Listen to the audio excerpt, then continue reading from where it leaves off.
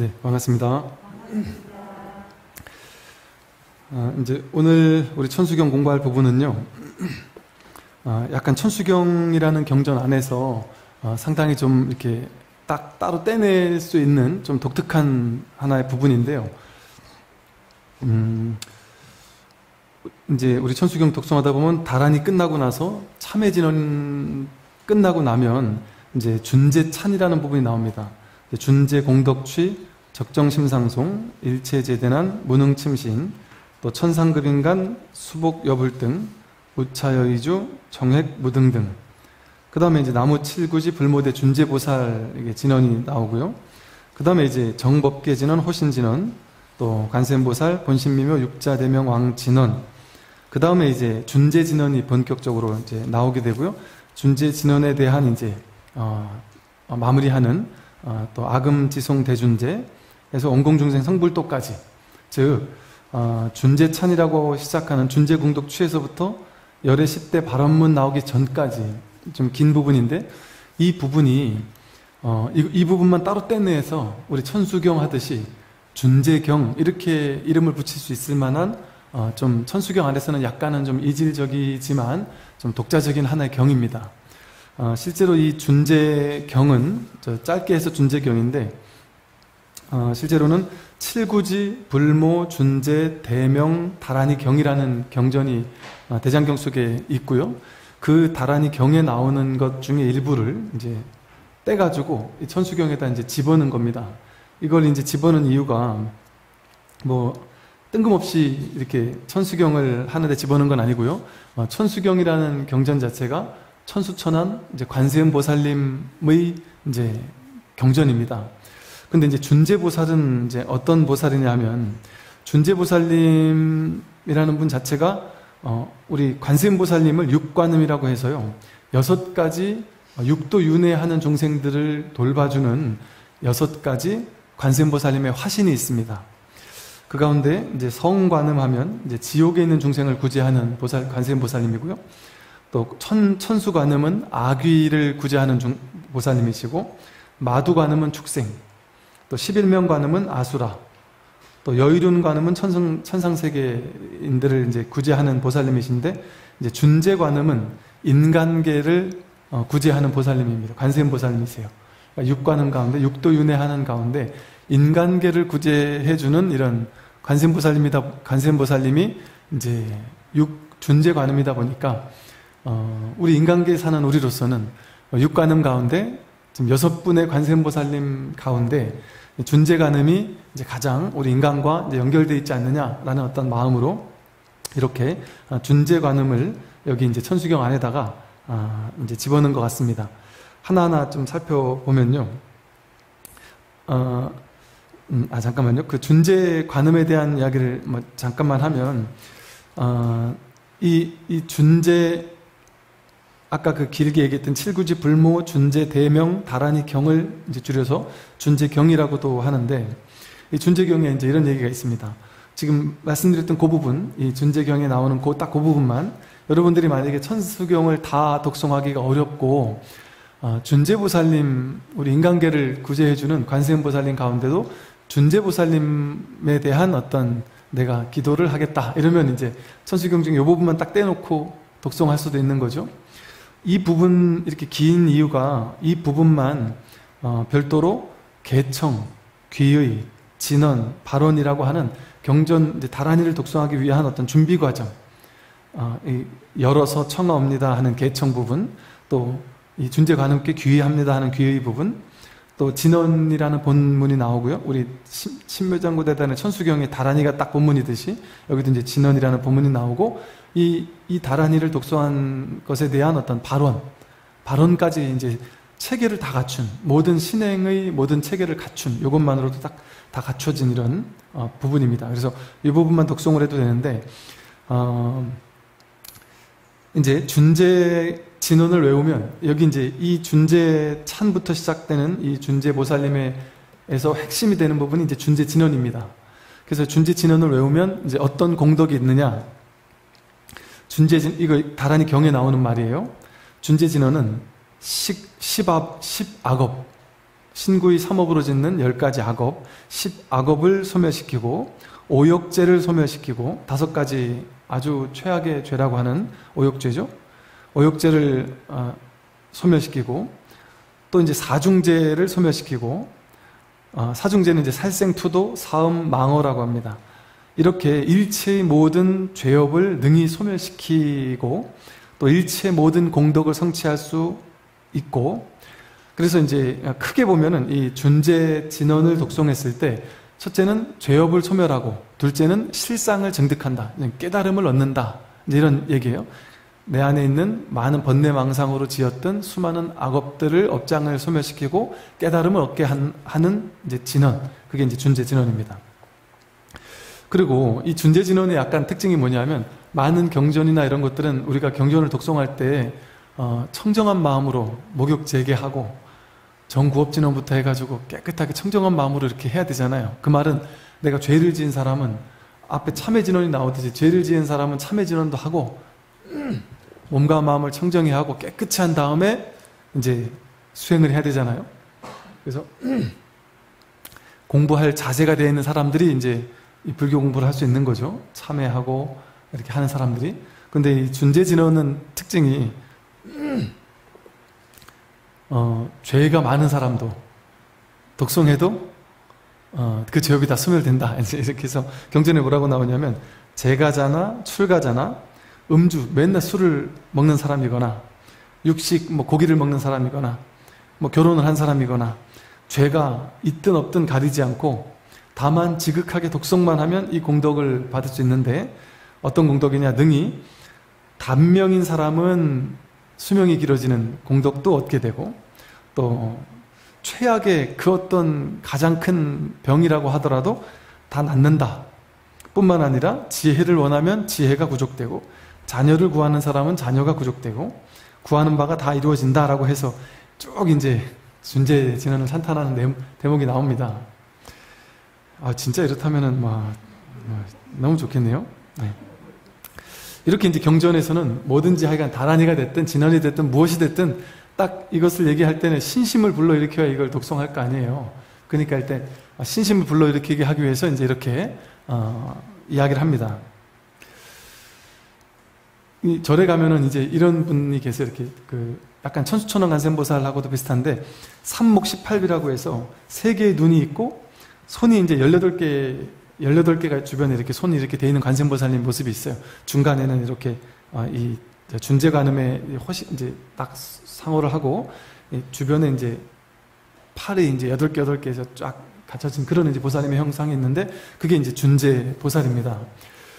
그 제가 고등학교 때 이제 고등학교 졸업을 하고 이제 대학교를 가는데 저희 이제 그 당시 이제 제 저를 가르쳐 주셨던 이제 은사 스님 같으신 분이 계시는데 그 당시 이제 저희 그 절의 스님께서 저를 너무너무 뭐랄까 이뻐하고 좋아하셨는데 그 스님께서는 제, 저는 또 이제 어차피 이제 불교학과를 가기도 했고 하니까 완전 뭐 제자처럼 이렇게 생각하신 스님이셨는데 그때 이제 이 스님께서 저보고 따로 부르셔가지고 어, 액자 하나를 이렇게 딱 포장을 해서 액자 하나를 주시면서 어디 가더라도 학교 가면 뭐 자취방에 가더라도 어디 가더라도 이것을 딱 한쪽에 걸어놓고 항상 아침 저녁으로 기도하고 준재 진언을 염송해라. 그러면서 준재 보살님은 어 그냥 관세음 보살님이 아니라 관세음 보살님 중에도 어디 가든 어디에 있든 우리를 항상 이렇게 옹호해 주시고 돌봐 주시고 아무리 뭐 힘든 일이 있어도 다 이렇게 돌봐주시고 하는 보살님이시기 때문에 너가 이렇게 진심으로 지극한 마음으로 준재보살을 염송하면 준재보살님이 너를 항상 이렇게 옹호해 주실 것이다. 그리고 이제 딱 주셨는데 보니까 막 팔이 막 이렇게 여러 개 있고 난생 처음 보는 보살님인데 준재보살님이라고 하면서 관세보살님 사진을 주신 거죠. 그 저는 사실은 속으로 조금 뭐 이렇게 우리 석가모니 분이나 우리가 잘 알고 있는 관세보살님이나 이런 분을 주지 그렇게 난생 처음 보는 보살님을 날 주셨을까? 뭐 그런 생각을 하기도 했었어요. 근데 이제 그렇게 스님께서 참 저한테 이렇게 따뜻한 마음으로 그렇게 주시다 보니까 제가 그때부터 이분이 도대체 어떤 분이실까? 이 준재보살님이라는 분은 도대체 어떤 보살님이실까에 대해서 좀 나름 좀 궁금해 했었던 것 같아요. 근데 보니까 그분이 이제 바로 이렇게 천수경에 이제 등장을 하시고요. 어, 그래서 이 아까 말씀드린 준재 경에 뭐라고 나오냐면 이 준재 진원을 80만 번, 뭐 해봐야 준재 진원 길지 않아요. 그래 길지 않으니까 80만 번 머리 어렵진 않아요. 80만 번을 외우면 오무간제, 시박업, 사중제가 다 소멸된다. 뭐 이렇게 또 나옵니다. 어, 제가 이제 계속 말씀드린 것처럼 그 준재 진원이라는 진원은 예를 들어 신묘장구 그러면 신묘장구 대다라니까 더 좋겠습니까? 준재 진원이 더 좋겠습니까? 아니면 온면이 반면이 더 좋겠습니까? 아니면 나무아미탑을 연물이 더 좋겠습니까? 똑같단 말이에요. 똑같다. 근데 방편으로 몸이 아픈 사람들한테는 죄가 많은 사람한테는 이런 준재부사님이 계신다 이러면 얼마나 힘이 나겠어요. 내가 죄를 그렇게 많이 졌는데 죄를 졌지만 그래도 괜찮다고 하시는 보살님이 계시니까 얼마나 고맙고 감사하고 든든하겠어요. 옛날에 우리 옛날에 요즘은 이렇게 다 공부한 분들이잖아요. 옛날에 공부도 안 하고 뭐 문자도 모르고 하는 분들한테 공부하라 해도 모르는데 문자도 모르는데 이걸 읽으면 알겠어요? 그냥 준재부사님이라고 계시는데 그분이 이런 분이다. 그러니까 준재 진언만 외우면 된다. 그럼 그분들이 얼마나 위안을 받고 따뜻하고 나는 불교는 교리가 너무 어려워서 불교 경전은 도저히 귀에 들어오지도 않는데 다른 거 다 할 필요도 없다. 준재보살, 준재진언만 외우면 된다고 하니 얼마나 편하겠습니까?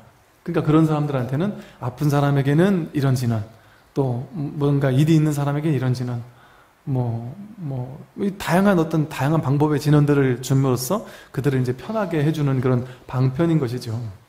그래서 핵심은 이 준재 진언을, 아, 다 대비준 이런 건데 준재준은 이런 거고 광명진은 이런 거야. 그러니까 이런 거는 따로 이렇게 좋아 저렇게 좋아라고 하면 그건 이법이잖아요. 둘로 나누는 분별법이잖아요. 불교의 핵심은 그 분별이 아니다. 그러니까 제가 그러니까 가만히 보십시오. 제가 천수경을 가르치든 금강경을 가르치든 뭐 요즘에 대승찬을 가르치든 반야심경을 가르치든 불교 교리를 가르치든 뭐를 얘기를 하든 전부 다 불이법, 불이중도 이 부처님의 핵심, 핵심을 직진심 딱 하나의 법을 가리키고 있거든요. 왜 그럴까요? 지금까지는 천년 넘게 방편에 치우친 불교가 오래됐단 말이에요. 그러니까 우리는 방편으로 이건 이거고 저건 저거야라고 하는 걸 다 다르다고 생각하면서 불교 공부를 해왔어요. 아미타 부처님 다르고 석가모니 부들 다르고 관세음보살 다르고 진원도 다 달라서 이럴 땐 이거 해야 되고 저걸 땐 저거 해야 되고 이 공부도 해야 되고 저 공부도 해야 되고 죽기 전에는 아미탑을 연불해서 무량수 3대 무량수 무량수 삼부경을 공부해가지고 극락 완성도 해야 되고 해야 될 게 너무 많아요. 근데 제가 드리는 말씀은 여러분의 그 숙제를 덜어드리는 겁니다. 모든 경전 공부 다 하고 뭐 모든 이보살 저보살 이부, 이부처님 저부처님 다 연불하고 독성하고 해야지만 아, 이부처님이 좀 서운해하지 않지 않겠나 내가 이부처님 염송하다가 딴절 가서 딴 부처님 염송하면 그 부처님이 좀 질투하지 않으실까 어, 실제 이런 질문 저한테 하는 분들 계시거든요 난 원래 지금 지장보살 백일기도를 하고 있는 중인데 어느 절에 갔더니 관세음보살 연불 하는데 되게 마음이 찜찜하다 지장보살님이 좀 서운해하실까봐 좀 삐지실까봐 아니면 지장보살의 가피가 좀 약해질까봐 걱정스럽다. 이게 방편에 치우쳤을 때의 어떤 어리석음입니다. 그런 일이 있다면 그런 지장보살님을 버려야지. 그런 지장보살님 믿으면 안 되죠. 지장보살 염두하다가 관세보살을 염불한다고 삐지는 지장보살님 같으면 그거는 지장보살님 믿으면 안 됩니다. 그런 분은 진짜 보살님이 아니죠. 불이법이라는 하나의 법을 드러내기 위한 당연한 다양한 방편으로 불교 경전은 시설된 겁니다. 임시 방편으로. 그래서 모든 가르침은 전부 다 하나의 가르침이에요. 이것 다르고 저것 따라 다르고 할 수가 없습니다. 심지어 뭐 외도의 가르침도 본질에 있어서는 다르지 않, 않죠. 왜? 드러나는, 말이 드러나는 그 자리가 부처인데, 관세음보살 하든, 지장보살 하든, 코카콜라 하든, 죽비 하든, 하나님 하든, 알라신 하든, 그 말 내용이 부처가 아니고, 말이 나온 그 말하는 그 자리가 부처인데 그 내용을 따라가면 다 다르죠. 그래서 제가 전에도 그 말씀 드렸잖아요. 뭐 신묘장구 대다라니는 힌두교 신들을 찬탄하는 다란이다. 역사적으로는 그렇다는 거죠. 또 사실은 이 준재진원도 준재보살님도 힌두교에서 얘기하는 그 신이 있어요. 신을 신 중에 한 분이 있는데 그분이 이제 불교로 들어와 가지고 준재보살로 정착이 됐어요. 그럼 불교에서 이게 차, 용한 거예요. 그게 문화입니다. 그게 역사고. 근데 그게 뭐 그것 때문에 이제 조금 전에 이제 제가 그저 기분 좋은 얘기 해놨다가 갑자기 참을 확 끼얹는 소리를 했는데 아, 준재보살이 이렇게 대단하시구나. 아, 정말 내가 준재보살만 염하면 되겠구나 이렇게 한참 좋았는데 좋다 말았네. 준재보살이 이제 봤더니 막 힌두 교신이란 말이야? 어, 이거, 그럼 내가 이거 믿을 필요가 없지 않느냐? 이런 생각 하실 수 있는데 그렇습니까? 그렇지 않다는 거죠. 힌두교에서 나왔으면 어떻고 예수교에서 나왔으면 어떻고 어디서 나왔으면 어떻습니까? 알라신에서 나왔으면 어떻습니까? 알라신 이게 부처예요. 하나님 이게 부처예요. 엄마니 밤매움 이게 부처고 하다못해 똥, 똥이 부처라고 하는데 똥박대기가 부처라고 하잖아요. 실제 부처, 저, 저 스님들 어록을 보면요. 부처가 무엇이냐? 아주 점잖은 스님은 부처? 부처는 기둥이고 천장이고 담벼락이고 흙이다. 이렇게 얘기하시는 분은 점잖은 분이고 선 어록에 보면 뭐라고 얘기하시냐면 똥이고 오줌이고 저 저 저 저 소 오줌이고 저 돼지 오물에 빠져 있는 그런 식으로 얘기를 해요.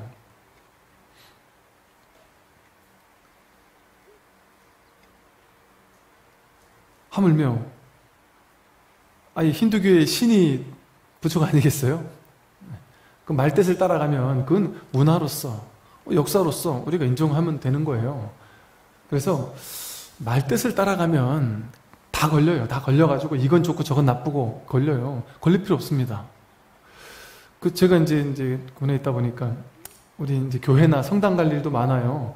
우리 스님들 같은 경우 교회나 성당 가가지고 스님들이 예배 참석하고 그러는 거 많죠? 저도 뭐 지금까지 한 20년 동안 그 크리스마스 때마다 거의 전날은 성당 가고 크리스마스 이브 날을 저녁 때는 성당 가고 크리스마스 당일날은 교회 가고 항상 그랬었어요.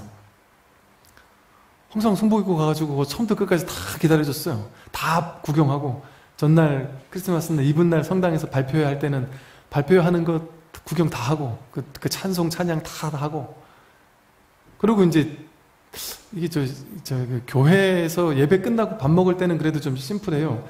밥을 먹으면 그냥 깔끔하게 밥 먹고 마면 되니까. 근데 이제 성당 가면 이제 그 발표제 다 끝나고 이제 신부님들이 그 신도님들하고 모여가지고 거기서 이제 저, 저 포도주를 한 잔씩 하세요. 예. 그 포도주도 한 잔씩 얻어먹고. 예. 그러면서 그렇게 그냥 전혀 전혀 문제 없습니다. 교회 가서 예배 참석하고 아, 저 되게 성스러워요. 교회나 성당에서 예배하는 그 미사하는 그 분위기가 너무 성스럽습니다. 정말. 그 정말 그럴 때 이렇게 어떤 느낌이 드냐면 아 이렇게 분위기부터가 벌써 이렇게 성스럽다라는 게 아 이게 어떤 종교의 힘이겠다. 나부터도 성당 가고 교회 가서 이렇게 예배 미사 참석하면서 성스러움을 느끼는데 많은 사람들이 많은 사람들이 이곳에 와서 일상생활에서 막 화내고 싸우고 욕하고 막 이러다가도 사기도 치고 하다가도 이곳에 오면 저절로 성스러워지지 않겠나. 이게 어떤 종교의 순기능 아니겠는가? 그러면서 어떤 목사님, 신부님들과의 어떤 연대감 같은? 우리가 정말 이제 그야말로 하나, 가 되어서 종교라는 이름으로 우리 이, 이 중생들의 어찌 보면 힘들고 괴롭고 번뇌망상도 많고 죄도 많은 이런 많은 분들이 힘들고 괴로워하는 것들을 이렇게 함께 녹여드리고 그 죄업을 소멸시켜드리고 그래서 밝은 지혜를 전해드릴 수 있다면 그래서 마음속에 좀 더 이렇게 성스러움을 전달해 드릴 수 있다면 정말 얼마나 아름다운 일인가. 꼭 제가 이렇게 우리 이제 군에 이렇게 보면 목사님, 신부님, 스님들이 계시는데 거기 이제 그, 그 참모라는 게 있어요. 그래서 나름 또 참모는 제일 계급이 높고 그 밑에 이제 목사님, 신부님이 제가 참모할 때는 밑에 목사님, 신부님이 계시거나 또 신부님, 목사님이 참모하실 땐 제가 밑에 있거나 이래요. 완전 한 팀이에요, 한 팀. 근데 너무 즐겁고 재밌고 유쾌합니다, 정말.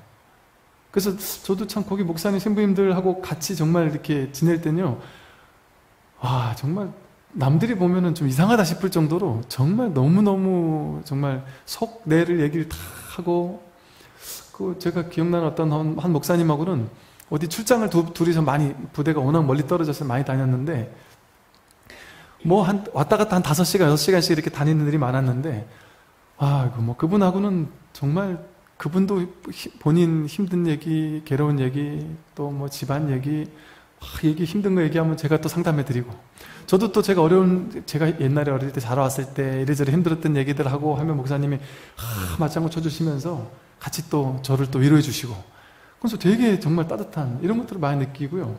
또 이제 그래서 저는 저거 제가 참모할 때는 그랬었어요. 일부러 목사님 신부님 우리 예하부대 갈 때 같이 같이 갔으면 좋겠 같이 가자. 내 혼자 가는 것보다 같이 가면 따로 따로 가는 거 같이 가면 사람들이 너무 좋아한다.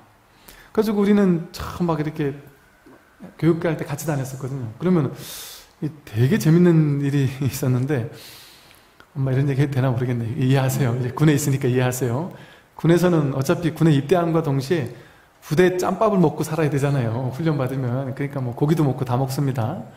근데 목사님, 신부님, 스님들이 이제 셋이 이제 교육을 갔는데 교육 갔다가 이제 그, 그 신부님이 그 바닷가에 있는 소초를 교육을 갔었어요. 근데 신부님이 아 여기까지 왔는데 이 먼 데까지 왔는데 그냥 풀떼기 먹고 이러고 가면 안 된다. 응? 그럴 것 같으면 스님은 우리 보고 같이 다니자는 얘기 하지도 마라. 먹고 싶은 게 있다고 그래서 뭐냐 그랬더니 아 내가 여기까지 왔는데 내가 조개구이를 먹어야 되겠다. 그래서 그 바닷가 조개구이집을 데리고 가는 거예요. 그런데 목사님이 아 신부님 그래도 우리가 어? 아무리 밥을 먹어도 이거, 이게 저 당연히 내가 이 조개구이는 같이 먹지만 이 곡차는 안 됩니다. 그래가지고 목사님이 계시니까 당연히 곡차는 안 먹으면서 이렇게 먹으면서 신부님이 그때 뭐라 그러시냐면 저한테 그 얘기를 했어요. 야, 내가 내가 태어나서 이 바닷가가 보이는 조개구이 집에 와가지고 조개구이를 먹으면서 내가 이거 곡차 한 잔 안 먹는 내 인생에 이런 일은 있을 수가 없는 일이다. 내가 목사님 스님들하고 같이 다니니까 내가 어쩔 수 없이 내가 따라 따라 한다고 그러면서 뭐 그런 재미도 있었고 뭐 하여간 이제 그런 그 것들이 저, 저는 되게 참 따뜻하고 되게 이렇게 정감 어리고 되게 아름다운 그런 기억들로 항상 남아 있어요. 그래서 저는 진심으로 정말 목사님 신부님들이 너무 좋아요. 이렇게, 이렇게 같은 일을 한다라는 어떤 이런 동질감, 어떤 연대감, 이런 것들을 느끼지, 이건 뭐, 뭐 경쟁자라고 생각한다든지 뭐, 전혀 그런 게 없죠.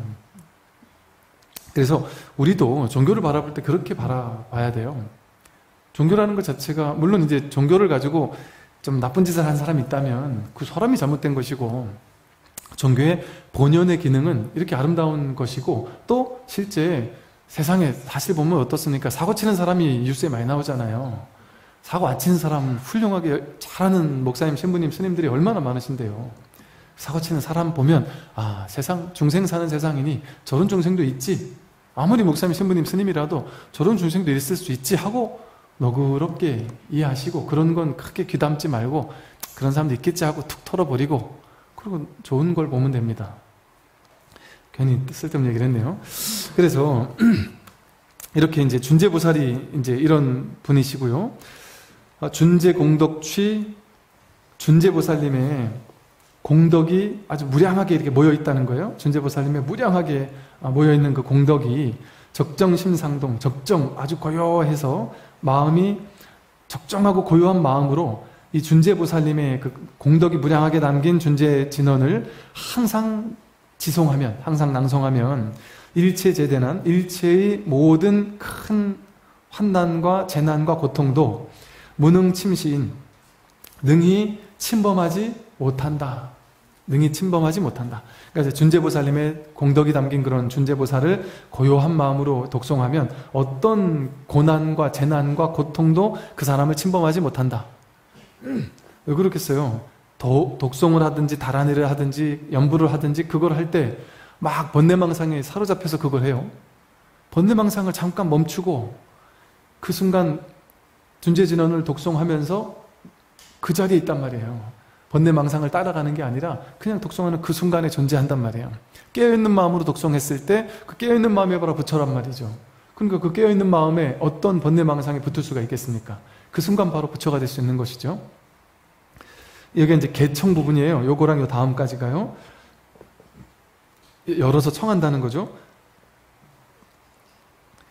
어, 천상급 인간, 천상에서부터 사람에 이르기까지 모든 중생들이 수복, 여불 등 어, 부처님과 다름없는 이 복을 내가 이렇게 받게 되었으니 우차 여의주 어, 이와 같은 여의주를 드디어 비로소 만났으니 정획 모등등 아, 이것보다 더한 것은 없는 위 없는 아주 높은 깨달음을 얻게 될 것이다. 이제 이런 뜻인데요.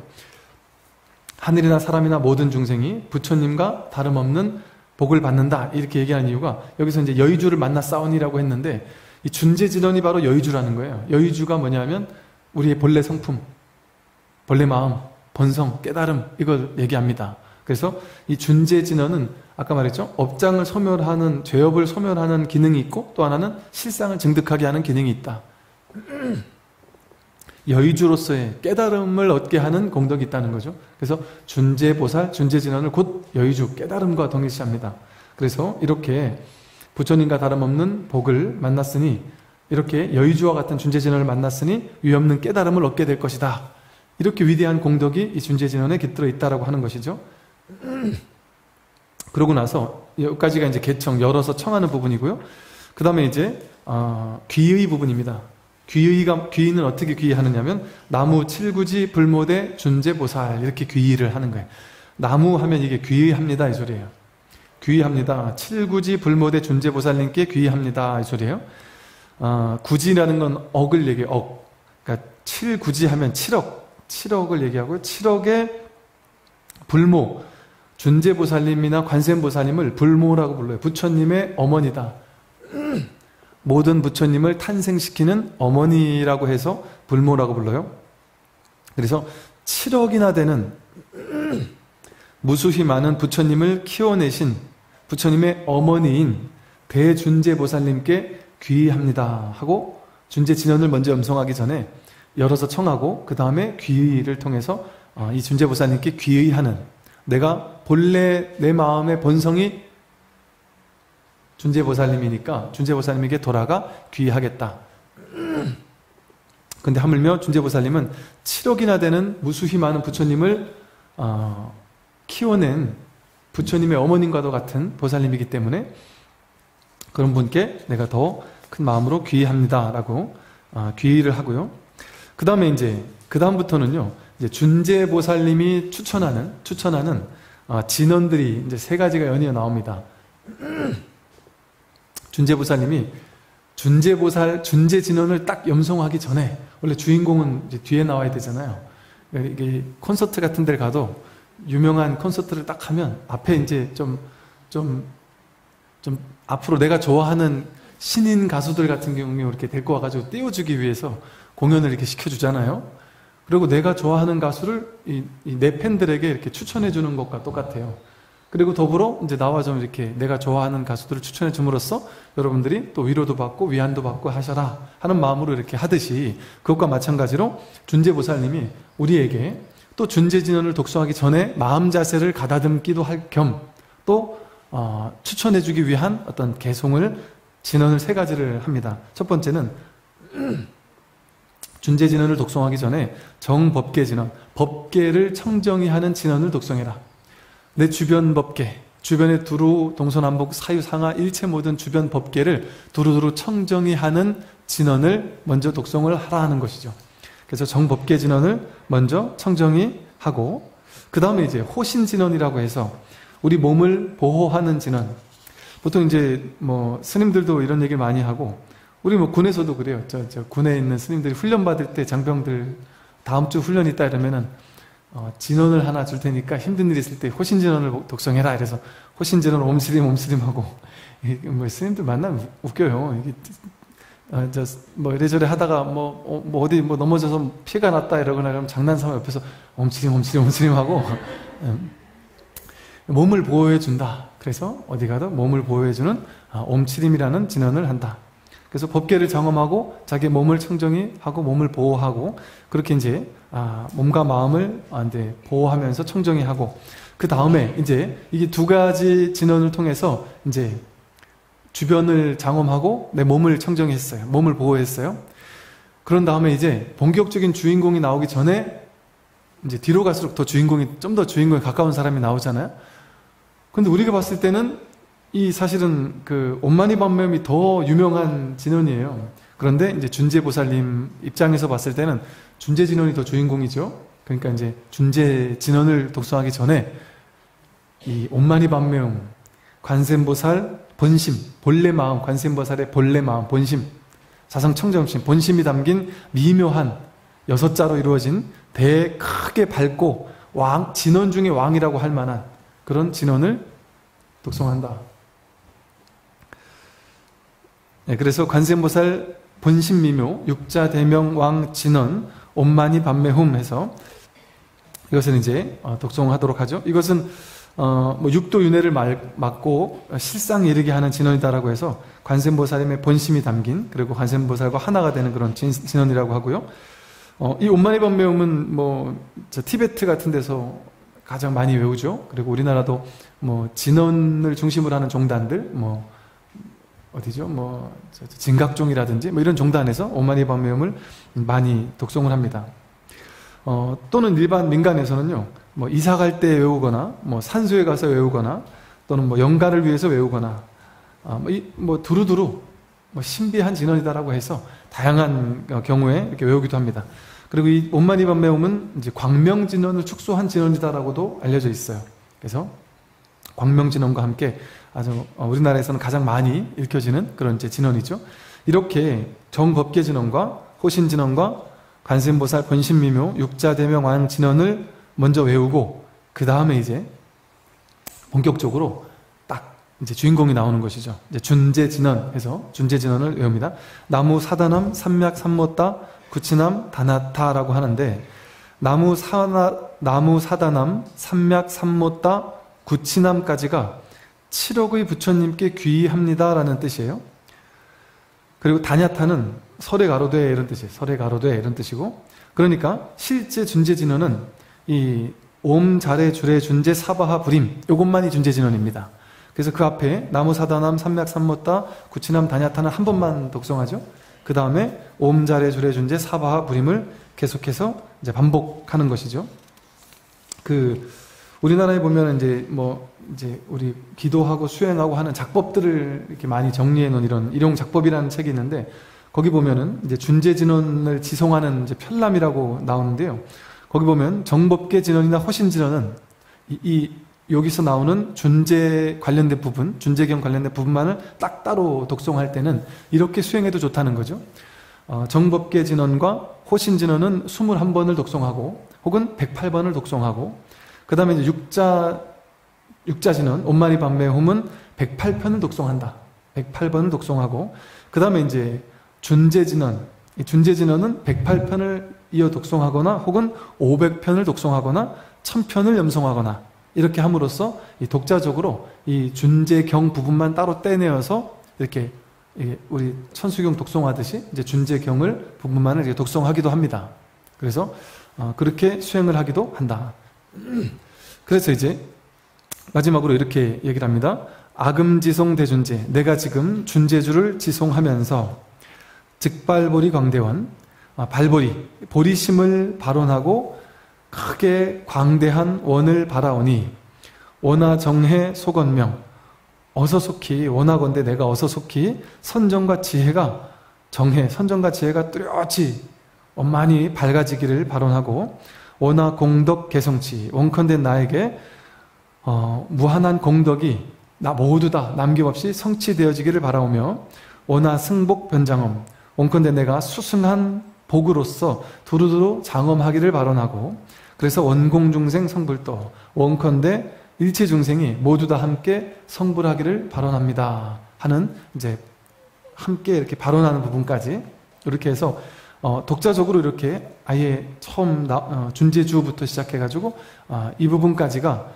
준재 보살과 준재 진언을 설명하는 부분이고 이 부분이 초, 기에는 천수경에 없었다 그래요. 그런데 나중에 어, 천수경에 편입이 되어서 이제는 이렇게 천수경의 일부분으로 이렇게 되어지고 있다. 여기까지 네, 말씀드리겠습니다.